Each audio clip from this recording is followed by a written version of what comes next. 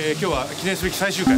我が神の舌を持つ男の主役のお蘭丸役の向井治さんにお話を聞いていきたいと思います。あのでねえー向井さんやっぱりあの今回やっぱり向井さんいろんな役を演じられてるけれどもお今回はどうでしたか？いや僕はもう単純に楽しいというか堤さんに操られてもう操り人形のようにこうやっているので、うんまあ自発的にっていうのももちろんありましたけど、うんうん。まあなんというかハードルが堤さんなので、うんうんうんそこを超えるように頑張ってるっていうなるほどなるほど。感じでまああのー楽しかったということですね。すごいうるさいなあだからしょうがないしょうがないですよ。誰ですかどこの現場の人だこれはいやどこの現場ってうちの現場です。うちの現場うちの現場すいませんですよ本当に。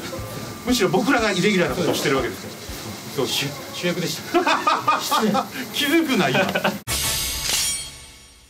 とまああのこれ聞けっていうからあれだね。はいはいえー僕との共演は楽しいかっていう。質問です待って。ちょっとちょっと待って。それでそのすごい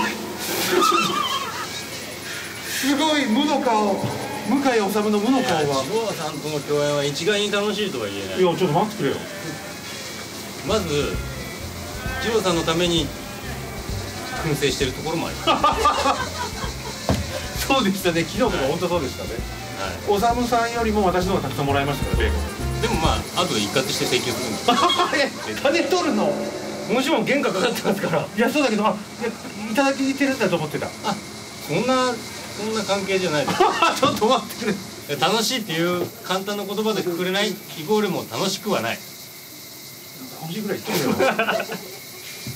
まあまあわかりまし楽しいだけじゃない。た楽しい。ああなるほどね。楽しいだけじゃない。さすが主役。あの最後にまとめてくれました。僕も思い出したようにマイクを使っております。はい。じゃあそういうことで、えー、12月3日。あこれはあなたから言ってください神の下の男。12月3日公開です、まあ、この前に使わなくていいですけど。神の下を持つ男。12月3日、公開です。でちょちゃんとこっち見ていただいたえ神の下を持つ男12月3日公開です。よろしくお願いします。よろしくお願いします。一二の三助